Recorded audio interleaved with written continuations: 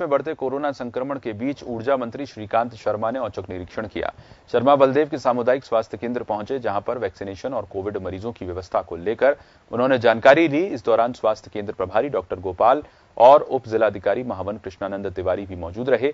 शर्मा ने सामुदायिक केंद्र पर दी जाने वाली सुविधाओं की जानकारी भी ली। ऊर्जा मंत्री ने सामुदायिक स्वास्थ्य प्रभारी को विशेष हिदायत दी कि मरीजों के इलाज में किसी भी प्रकार की, की कमी नहीं आनी चाहिए। सरकार की सभी योजनाओं का लाभ आम लोगों तक पहुँचना चाहिए।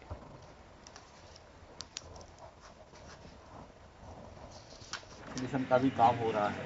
ज़्यादा से ज़्यादा लोग यहाँ वैक्सीनेशन के लिए आए। अभी यहाँ 18 साल से जो प्लस 18 का वैक्सीनेशन नहीं है, वो भी व्यवस्था हम लोग करा रहे हैं, यहाँ शुरू हो जाए।